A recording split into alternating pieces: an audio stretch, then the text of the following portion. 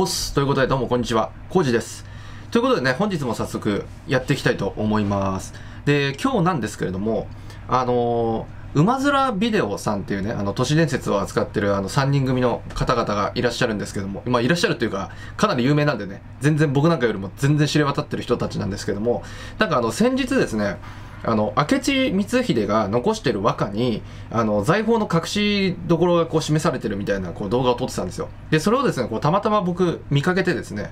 あれと思ってこう気になってですね、あのこう見てたんですけども、これがですね、どうやら、あのこの財宝のありかのことをね、こう、まあ、示してるんですけども、これね、あのちょっとね、分かっちゃったんですよ。分かっちゃったんですね。なんで、それをですね、今日は、えーやっていきたいと思います。まあ、その元ネタとなっている馬面さんの、あの、概要欄にね、貼っておきますんで、そっちをこう見た後に、えーこっちをこう見ていただけると、えーまあ、面白いかなというふうに思うんですね。なので、ちょっと端的に説明するとですね、まあ、明智光秀が、えー財宝の隠しどころをですね、和歌にして読んで、えーそれをですね、こう伝えてると。で、えーその和歌の内容っていうのが、えー金山の尾の尾の先の尾の先に朝日照らす木のもとに、えー小判千両有明の月とこういう、あのー和歌をですね残してるんですね。まあ、これはですねあの財宝のありかを示してる暗号だっていうことでいわゆるこういう都市伝説界隈とかオカルト界隈とかこういった場所であのまあ伝承されてきてるというかあのこう考察されてるんですけどもこれねあの言霊をこう勉強していくとあのこれがねこう何かっていうのがあの分かるんですよね。でそれが何かっていうとこのあの秘宝と呼ばれている宝っていうのはなぜ秘密の火っていうものが使われているのかっていうね、まあ、財宝っていう風になったらあの本当に金銀の財宝のことなんですけどもあの日本における秘宝って呼ばれているこのあの秘密の宝っていうのは隠されたっていうね意味のあの宝なんですけどもこの火っていうのがそもそもあの字体としてはですねあの言霊の玉いわゆる霊ですね霊の宝と書いて秘宝として、あの扱われているんですよ。まあ、つまり、じゃあ何が秘せられていて、何がですね、この、言霊の玉と書いた火のね、あの宝なのかっていうと、これはですね、あのすなわち、天照大神が出現するっていうまでの道のりをあの書いたですね天津太則と御図の出現のことを指してるわけですねこれがあの2000年前から崇神天皇の時代から秘せられてしまった埋没してしまったっていうねこの形でいわゆるその伝承として和歌にしたりだとかあとはこう風習にしたりだとかあとは三種の神器として形としてあの祀ることで残したとかね。あとはこう童話としてこう残してたりだとかこういう方向にこう日本は切り替えたわけですね。つまりそう言って秘せられた宝であるっていうことで、えー、霊と霊の宝と書いて秘宝として残しているということなんです。よここが大前提として、えーまずスタートして、えーこの和歌をですねちょっと読み解いていきたいんですけども、え金山のっていうふうにね最初に入ります。この金山の金山っていうのはですねあの本当にこの物質的な現象界で言ったら金山っていう山があってそこからこう金が取れるっていうねこういう金山なんですけども大和言葉における金山って本来の意味はですねカナの山なんですよ。まあ、かなっていうのはひらがなカタカナ。とかね、この要要は表音文字にしたですね、言霊を表した、え文字のことを示してるんですね。これをですね、古代には、あの、ミカと呼ばれている、その、要は、あの、粘土板みたいなものにですね、こう、文字を書いていって、これをですね、一個一個力道を確かめるのに、あの、一個一個こう書いていったんですよ。だから50個こう集まった時に、これをですね、こう、かき集めて、あの、山状になるわけですね。要はピラミッドみたいになるわけですよ。文字でできたね。これをですね、昔、金山と呼んだんですね。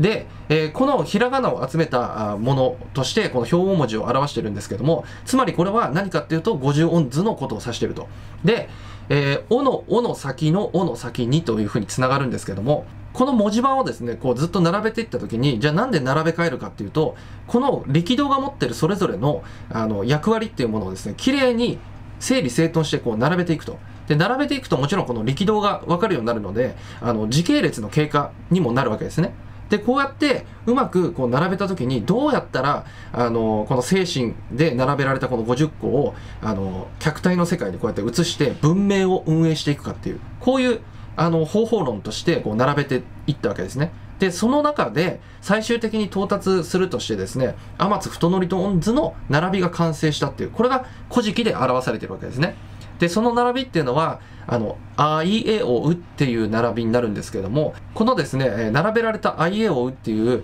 えとおとうっていうこの分野はですね、それぞれ、えというのは、あの、道徳実践地なんで、あの、まあ、宗教とかそういったものに当たるんですね。で、おというのは経験なんで、いわゆるその学問的な領域を占めていると。で、うというのは、えー、欲望の主体なので、いわゆる産業を指していると。この3つっていうのは、実は、世持つ外国として、日本ではない、それ以外の文化にね、渡すように、こう、力道が、あの、言ってるわけですね。つまり、この3つっていうのが、あのー、いわゆる、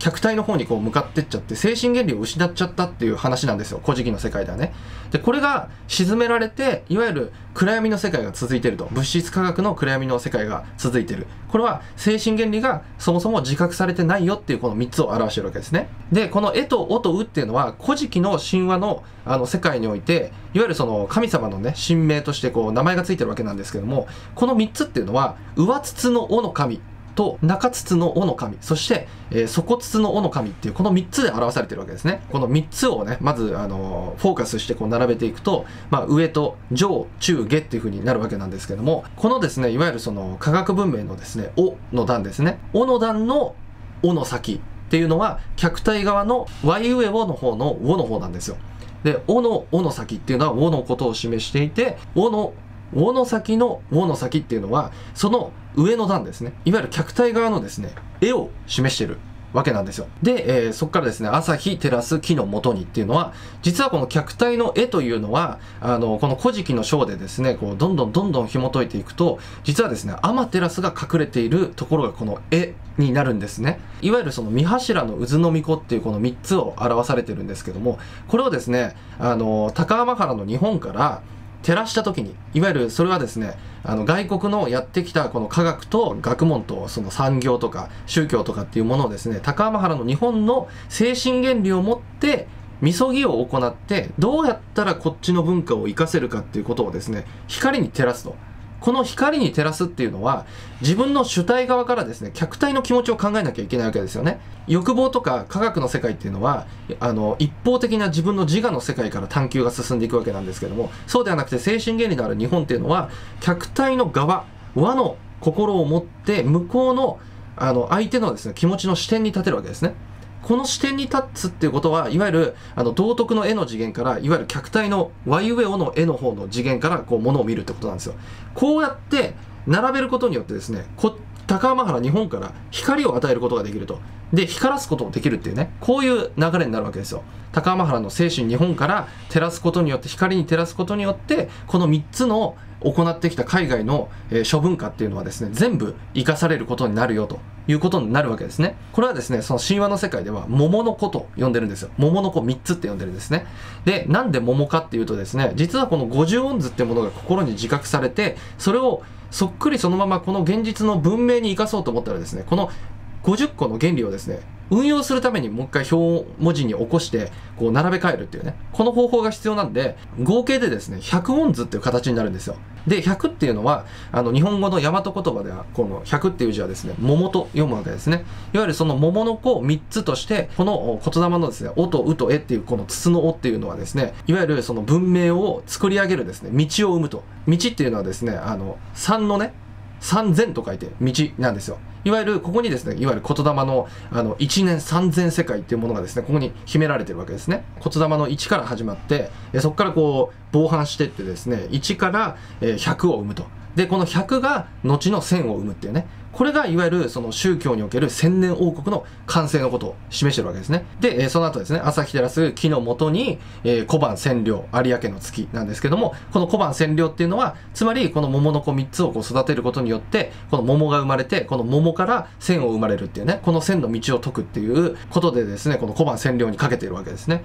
で、そこから有明の月っていうのは、この月というのはそもそも概念なんですよ。つく読みの御事っていうのはその概念として、えー、その経験値とか科学とか学問の分野をですねあの収めるようにあの配置されたことを言ってるんですけどもこの月っていうのはその概念とか要するに数字とか型とかねそういった領域をこう占めるあの経験値をの学問を示してるということなんですね。で学問では要するに人を照らすことはできないと。学問だけのその知識があったってこう人をですねこう照らすこととか文明をですね生かすことっていうのはこうできないわけですよ。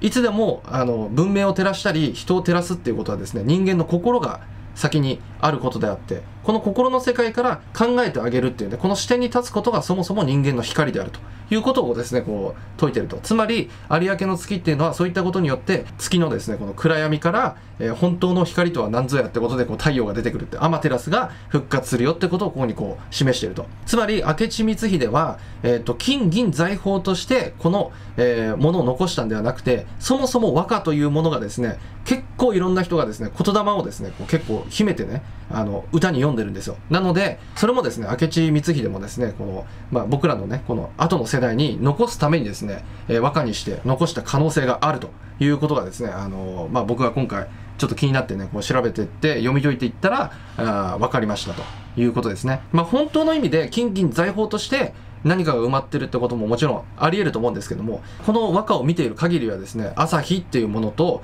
えー、有明の月っていうね、この表現っていうものをこの二元論で使ってるってことはですね、確実に言霊のことを示してるだろうなと。おの、おの先のおの先にっていうこの表現とかもですね、確実にこの言霊の世界で読み解いていかないと絶対に見えてこない領域なんですよ。なんで、この明智光秀は、おそらく金銀財宝のことを言ってるんではなくて、秘宝として秘められた、えー、日本の精神原理、言霊のことをですね、あの、天津太則ドンズ、天照が出現するってことをここに秘めて隠したと。いうことがですね、言えるかなというふうに思います。ということでですね、本日は以上になります。あの、僕、サロンでですね、あの、言霊のことをですね、あの、ずっと自分なりにこう研究したりだとか、古事記と言霊をこう、わかりやすく紐解いたりだとか、説明したりだとか、こういうことでですね、やってますので、えー、興味がある方はですね、ぜひサロンの方によろしくお願いします。ということで本日は以上になります。ご視聴ありがとうございました。バイ。